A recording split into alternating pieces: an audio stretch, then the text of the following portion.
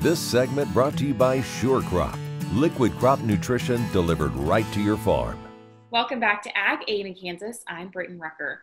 There's been a ton of inquiries from you cattle producers recently about putting cattle on corn stands that have been hindered by weather.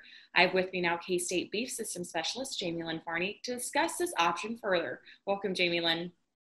Thank you. Uh, glad to be on the program. Jaymelynn, on your podcast, you recently brought in a beef cattle specialist from the University of Kentucky to discuss this in more detail. I did. Um, it was Dr. Jeffrey uh, was the guy who I had on the podcast. And if you're interested in find out more information than what we're going to be talking about here, the podcast is Dr. J's Beef. And if you are just for on your computer, you can just Google Dr. J's Beef Podcast and you can find it. But it's also on iTunes, Google Podcast, and Spotify as well. Absolutely. And you actually um, kicked around the idea of putting yearly steers on corn stalks in this fashion. And we did. Um, and actually, when I was visiting with uh, Dr. Lehmkuhler, we had talked about different stages of cattle and different stages of corn. So, one thing, um, when he really got started in his evaluation of looking at corn as a forage for cattle, he was thinking about it from the grass finished perspective in Wisconsin when he started his career. And as we were talking, um, he really kind of likes grazing stocker calves or growing calves on corn when it's in about the V6 to 8 stage, all the way up to R2. Now, for those of you who are like me that are cattle producers who are learning about crop stuff, um, you know, V6 just means there are six leaves on the corn plant. When you get to R2, it's in the reproductive stage. It's about, it's blistering on your ear corn. R1's when you see tasseling. And um, we kind of had talked about that that's the ideal phase to graze, especially your grower calves, because you have a lot of tonnage. Um, that's usually when your leaf is at the highest quality. And you don't have as much starch in your grain to worry about acidosis and bloat issues. Now, we also had talked about for overwintering your cows on mature standing corn, which is um, something that we've been seeing a lot about in popular press articles lately, um, especially when they interview folks that are in the northern United States or Canada. That is um, something that they use instead of having to haul hay on a regular basis. And in those instances, uh, you can really utilize that forage for your cows. It's a great feed. Uh, you do have a few other things you have to think about, um, especially you know things that we always talk about downed corn. Um, minimizing that amount of starch that goes to your cow uh, to about 10 to 12 pounds of corn a day.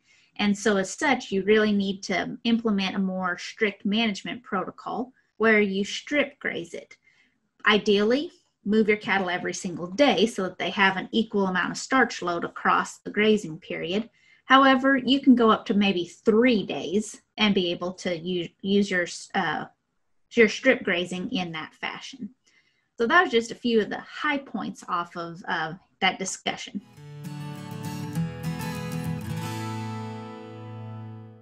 Kansas Corn reminds you that E15 fuel is the right choice for every kind of driver. For the car enthusiast, E15 has higher octane. For the thrifty driver, E15 is priced lower than regular unleaded. For the nature lover, E15 provides cleaner air. For the shopper who buys local, E15 has more ethanol from our Kansas corn farms. Choose E15 for a higher octane, lower price, cleaner American fuel. Message from the Kansas Corn Commission. Learn more at kscorn.com. In 1821, a trade route was opened from Missouri in the United States across prairies and mountains to Mexico. In 2021, we will mark 200 years of epic conflicts and grand adventures, larger than life personalities, and sweeping landscapes. Join us on an historic journey. The Santa Fe Trail lives on. Find us on social media or santafetrail.org. Okay, looks like it's time for our tour. Welcome to the Fort Wallace Museum. Here at the museum, you're going to find some really interesting stuff like our replica stagecoach from the Butterfield Overland Dispatch. We've got facades from the fort buildings. Uh, we've got an 1870s flag. There's a plesiosaur that was discovered locally. We've got the Ray Pump Organ Collection. We're a little bit place with a great big story, and we'd love to have you.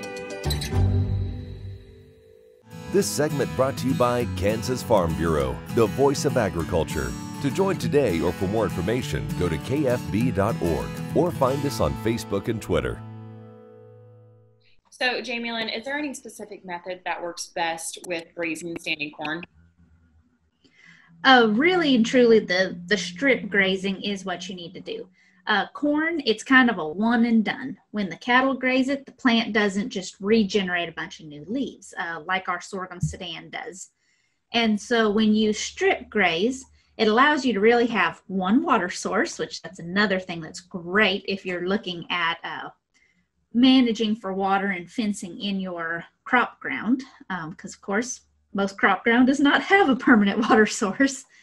But um, you put your water source at one end of your field, and then you allocate a, a specific portion of the pasture based on the number of head you have, number of days, and how much corn is out there, um, especially if you're looking at the mature corn.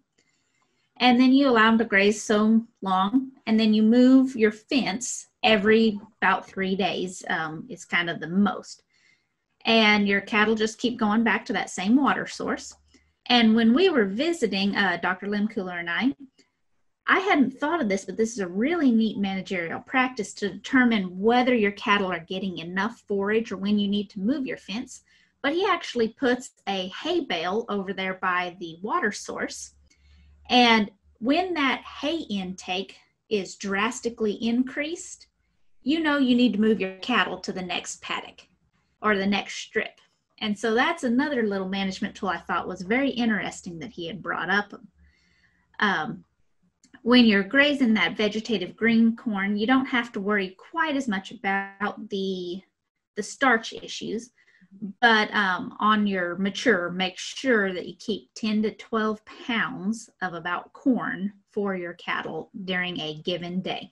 So, one of your biggest benefits, I think, is it gives producers one extra tool in their toolbox mm-hmm. to be able to maintain their cow herds in instances of drought. If you have are a dual operation where you've got both cattle and crop systems, if your corn just isn't going to make, um, it gives you some way to make some revenue off of your corn. And um, our gains can be fairly good, um, you know, especially as equitable to most other warm season annuals that we have available. So those are all some positives.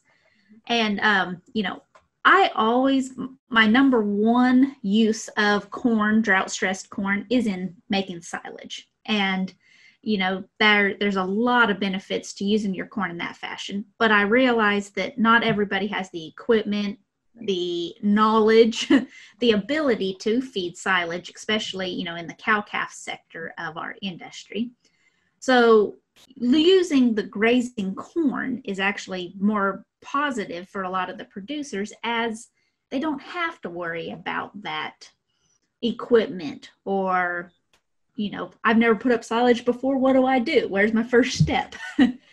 um, so that that's another you know tool. Now the negatives, like I said, there is some more management that goes into it.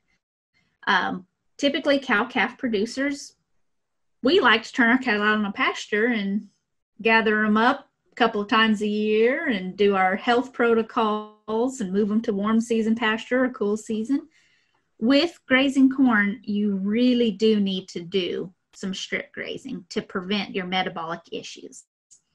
And um, especially if you have your pregnant cows, a little bit of digestive issues could lead to some potential, you know, an acidosis in particular, may lead to a little bit of an abortion storm or some issues there. So, doing your strip grazing is something you're going to have to do. So, you're going to put up a lot more hot fence every every day, every three days.